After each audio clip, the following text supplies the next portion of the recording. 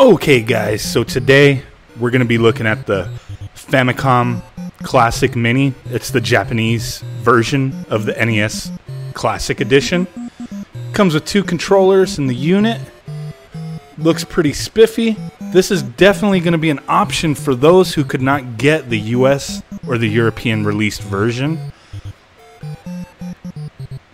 This version is still going for quite a bit less than what the other ones are going for, so it's a viable option if you have to have an official product. A lot of cool box art on here, shows all the games, pretty cool stuff. Kind of it replicates the original box that the uh, the Famicom was released in. But let's go ahead and open up this bad boy and take a look at what we got inside.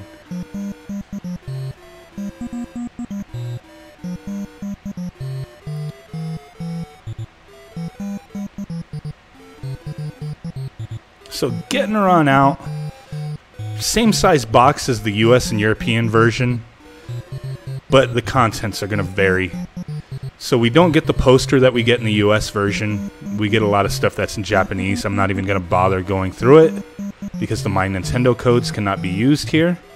But opening her up, we do have two controllers that are attached to the console, which replicates the original system.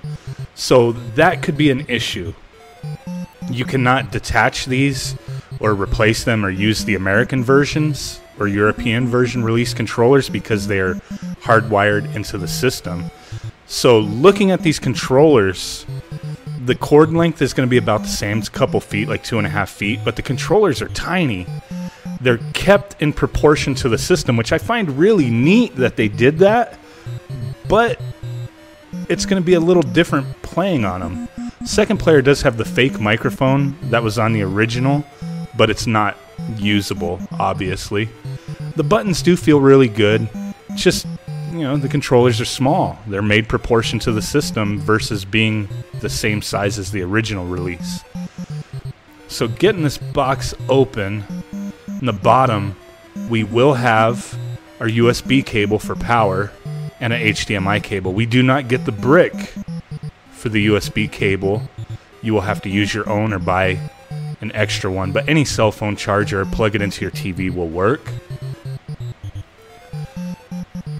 So, looking at this little guy, pretty nifty. But let's go ahead and compare this little fella to our US counterpart the NES Classic Edition that was released here in the US. It's the same version that was released in Europe as well. So looking at the size, pretty similar in size. The main difference you're going to see is the controller. Little baby controller. Still very usable, but just looking at it, it's a baby. Little little kid hands could use this. But we will be checking that out in a moment to see how it feels. So yeah, the size very comparable. We do have our reset and our power switch on the front of the Famicom Mini. Pretty nifty. Just like our US counterpart. All sticking to the original design. And these controllers, they do sit in the sides. There's a space for them where they just kind of rest in there, which is really neat. But with these being attached and you not being able to extend the cables, you're going to have to sit pretty close to them versus our US version, we could get extensions. So let's go ahead and plug this bad boy in, check her out, see how the controls work, take a closer look. Okay, ladies and gentlemen, so this is my first boot up of the Famicom Mini system. And looking at her, you know, the, the theme is pretty much the same as the NES Classic, the US and European version, but our set of games are going to be different, obviously. And I'll go over that list real quick. I'm not going to be familiar with the pictures on everything, but I do have the list. So we have Donkey Kong, Pac-Man, Excitebike, Balloon Fight, Ice Climber, Galaga, Yie Ar Kung-Fu, Super Mario Bros., The Legend of Zelda, Atlantis no Nazo, Gradius, Makai Village, which is Ghosts and Goblins in the US, Solomon's Key, Metroid, Castlevania, Adventure of Link, Bumping Sumo, which is a pretty fun game, Super Mario Bros. 3, Ninja Gaiden, Mega Man 2, River City Ransom, Double Dragon 2, Su- Super Tamashito Luo, which is Super C in the US, Final Fantasy 3, Dr. Mario, Downtown, Neketsu March Soriyuki, Mario Open Golf, and Super Mario USA, which is Super Mario Brothers 2 in the US, and then finally Kirby's Adventure. So a lot of the games are similar to what was on the US version. A handful of the games are different. Like we did not get Final Fantasy 3, we did not get River City Ransom, and a couple other Japanese exclusive games. But overall, if you were to get this system as you know a substitution to getting the US or European release, most of these games are very playable without the English language anyway, as most of them don't really use text in any form to really progress the game for the most part. Handful of games, yes, you'll have a difficulty. Final Fantasy III, for example, would be one of them. If you don't understand Japanese, you're not going to be able to fully enjoy the game. You probably won't even be able to play it for the most part. But with that said, the great thing is is that we all know the US and European version of the system is easily hacked.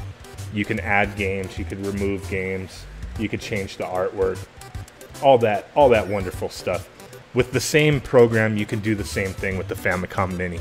So if you really wanted to have the official product and the Famicom Mini was going to suit your needs, you could change all these games out for the English counterparts. And that would be great. And you can have the English language box art on here as well. The big thing that I did notice, besides, you know, it has the red font, you know, the red color and the gold font, you know, which is different than the versions we received. The big difference that I noticed is the box art is inconsistent on the the Famicom Mini. Some of them, you know, the shapes are different so that's one thing that that jumped out at me that I noticed is that the artwork, as far as the box art, is a little inconsistent, which is not a big deal. I guess that's just the way it was. You know, in the U.S. and European version, the box art's all the same size. It looks really neat. So you could really, you know, go through and fix all that and change it to the U.S. box art, change the games to the U.S. release. Keep, you know, if there were certain Japanese titles you wanted to keep, you could keep those the Hakchi program is very easy to use, pretty foolproof. I've done a video on it, many others have done it. Simple Google search will get you the program and usually a, a nice set of games, you know, a complete set of games with the uh, the artwork and everything included. A short little process to transfer everything over. Like I said, pretty pretty foolproof, easily done. Um, and definitely with this system being under a hundred dollars, anywhere between eighty to maybe ninety-five bucks, you know, found on Amazon. I'll put the link in my description if you want to grab one from Amazon. Definitely a, a viable option instead of paying these outrageous scalpers, you know, hundreds of dollars for the U.S. or European release. You know, this this system I've had the Famicom Mini since it was released. You know, I did not pay a premium for it but the point that we are at now, it's going to be impossible to get any of these systems without paying a premium. So if you're not somebody who wants to jump into the Raspberry Pi community and jump into RetroPie or Recalbox and you got to have the official system, I can't knock you for it. Some people might argue, "Hey, don't even get that. Get a Raspberry Pi instead." I'm I'm in the middle. I'm neutral on that. I love having the official products and I do love having the Raspberry Pi as well. I have the US released, you know, Nintendo Classic.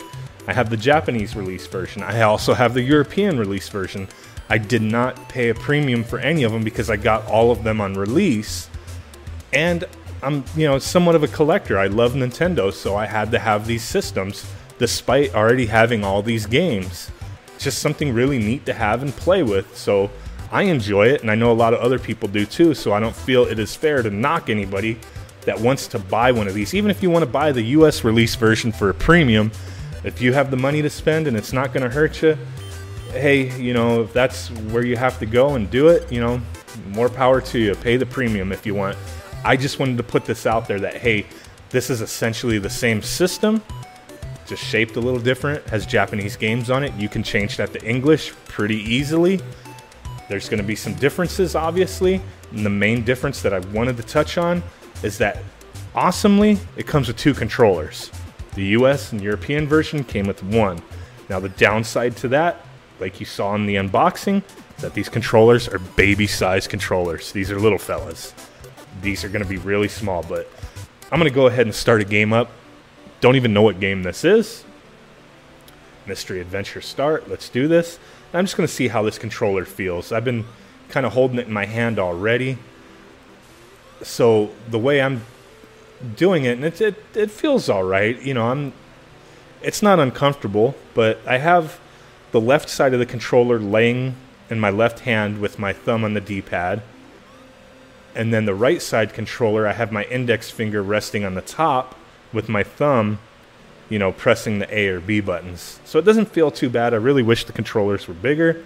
I understand why they did it this way, but ultimately that might be a reason you don't want this system.